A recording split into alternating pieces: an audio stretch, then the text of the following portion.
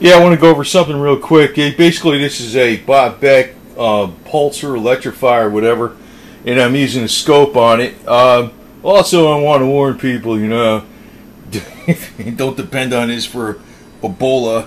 You know, Ebola, America's disease. I don't know if this is going to come about or it's a big scare or whatever the hell. I don't know what the deal is, but anyway, I just want to put out about this Bob Beck. I'm just going to show you the. Uh, difference. This this the stock way, you know, unmodified, and do what the hell you want. Because I don't know if this is actually that much better or what, but it's what I'm doing.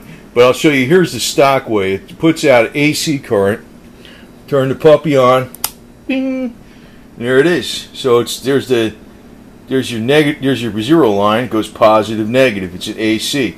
Now Hulda Clark warned about you know negative. You know negative helps microbes. I know some people actually just use the frequencies only, and they find the specific frequencies and they don't worry about positive or negative. But you got to be dialing in the frequencies for that particular microbe. Despite what Bob Beck said, frequency don't matter for his application, whatever the hell he was doing. But I'm just going to tell you, Hulda Clark said about going negative can help microbes. Now this is this is at this is running 40 hertz right now and you know it runs normally four hertz, but any it doesn't matter. Like the whole principle is it's going positive, negative, AC. So there's a modification you could do, and I'll show it to you. And it's simply in the cable. You stick a one-way diode. I didn't know this deal, but I was told this. You know how to how to set this up. Now it doesn't go all positive, but it goes mostly positive. And I'll show you. And me personally, I'll be using it this way with the handhelds versus the little tiny electrodes on the wrist. I'll be using the major, the big handhelds, you know. Okay, so um, the only thing that's different is actually the wires. And right here in this, where this black tape is, there's a there's a one-way diode. So I got the thing set for DC electricity. We turn it on and it's mostly positive. It's 27 and a half volts positive, 2 volts negative. It's not perfect. It's going below zero, but it's not bad. It's not too bad actually. So actually, the way I'm going to be doing this, and I'm going to be using, if I use it, I use it occasionally, not much, is uh, use the handhelds, and I don't use the electrodes. Actually, when you use the handhelds, you could feel a hell of a lot more power going through it. It's like your hand's going like this. And I know you say it goes through your heart or something, but I don't see really how they've been doing this like this with frequency generators forever. Um, going back to, I don't know, many years uh, with the handhelds and voltage even higher than that.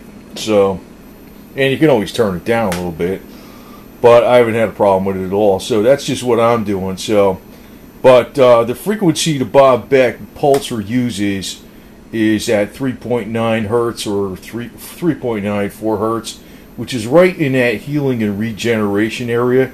It's not all the stuff Bob Beck said it is, but it's um, you know a little bit here and there. But you know it's not going to work on something like that. Forget about it. I don't know. It might healing and regeneration the uh, Ebola along with your rest of your cells, which is probably what it does. But um, if you're an athlete and you want to improve your energy, sometimes that might be okay. Depends. Depends. You know, I just uh, like anything else. Like I'm an advocate of colloidal silver, but I also tell people, hey, that damn thing is no cure. It ain't. It's a uh, cure maybe if you can get it on the exact spot where the infection is. But if it's all over the body or something, like with Ebola, you know, I said Ebola, Ebola, whatever. We got Obama with this guy over here. If it's all over the body, hang it up, man. So anyway, but also I'm going to tell you, uh, I'm going to have up in a, some upcoming videos. I'm going to have my uh, Rocky cat. I got to get this guy over to the vet, and uh, let me get him over here. You little munchkin. You're gonna have to go to the vet. You're like Dr. Dr. Jekyll and Mr. Hyde. You go meow, Yeah, that's it. What do you say? Huh.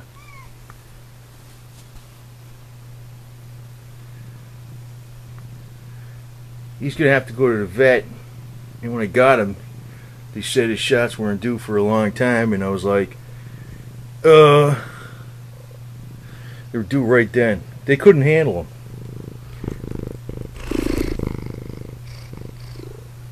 So I'm modifying the squeezer cage with a top thing with a aluminum trap door. I'm getting him some special kitty uh, stuff to freaking calm them down, plus lavender. And you're getting a three-year rabies shot, so you don't have to go for three years, which is 21 cat years, you little knucklehead. Right?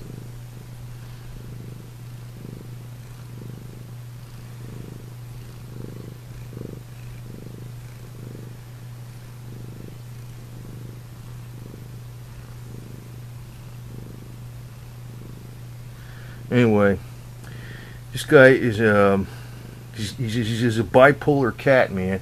Anyway, he's like a really super good cat now, but I can't. I'm the only person this guy can get around. The reason I'm adding this on the end of this damn video, I don't care. The, the, uh, the uh, there isn't one damn person that this cat can get around without him freaking out. I am the only freaking person this cat ever warmed up to. Period. Right, buddy? You're going to go to the vet and you're going to be terrorized. But it's going to be only once every three years. You got to go, man. You got to get your microchip.